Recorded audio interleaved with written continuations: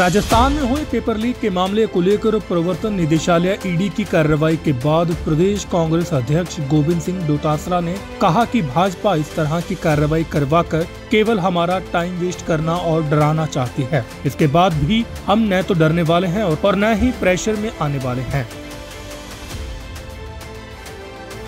उन्होंने कहा कि मैं बेईमान तो ज़िंदगी भर जेल रहने को तैयार हूँ। डोटासरा ने कहा कि ईडी के अधिकारियों ने मेरे दोनों बेटों से सवाल जवाब किया, उनके मोबाइल और ईमेल आईडी लेकर गए हैं। ये सब भाजपा का बनाया माहौल है, क्योंकि राजस्थान में कांग्रेस बहुमत दोबारा से हासिल कर रही है।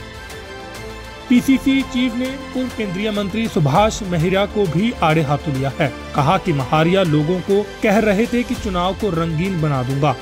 बता दें कि प्रवर्तन निदेशालय आईडी की टीम ने गुरुवार सुबह प्रदेश कांग्रेस अध्यक्ष गोविंद सिंह डोटासरा के जयपुर और सीकर स्थित निवास पर छापा मारा था। डोटासरा अपने परिवार के साथ सीकर में अपने घर में मौजूद थे। अचानक ईडी की टीम पहुँची और उनके घर व ऑफ़िस की जाँच की थी। ईडी के 12 अधिकारी करीब 11 घंटे की पूछताछ के बाद रात साढ़े आठ बजे डोटासरा के घर से निकले थे।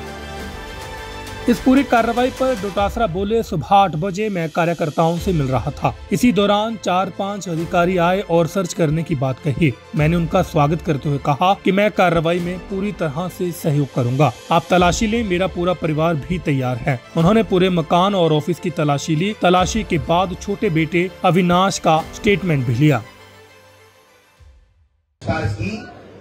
वो पूछताछ की, वो उन्होंने की होगी। मुझे उससे कोई गिला शिकवा भी नहीं है और मुझे उसके बारे में कोई बात भी नहीं कही। क्योंकि जब उनके स्टेटमेंट में तो मैं वहाँ नहीं था, इसलिए उन्होंने किस प्रकार के स्टेटमेंट लिए होंगे, आज मैं यहाँ पर किसी भी स्थिति में बताने के ये मेरे पास में शब्द नहीं है। बट मैं ये कह सकता हूँ कि ये लोग, ये लोकतंत्र को खत्म करना चाहते हैं। ये लोग पार्टी की इमेज को, पार्टी के नेताओं की इमेज को डेंट करके चुनाव लड़ना चाहते हैं।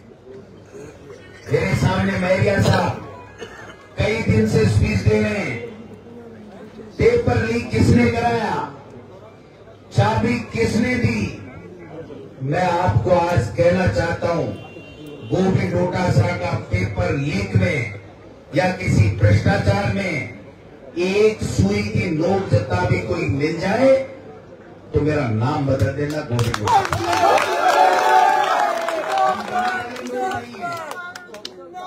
हम पार्टी हमारी माँ है। पार्टी के लिए, पार्टी की विचारधारा को आगे बढ़ाने के लिए और सरकार के कामकाज को गाँव गाँव ढाणी ढाणी पहुँचाने के लिए हम जैसे प्रयास कर रहे थे उनसे दुगुनी ताकत के साथ में प्रयास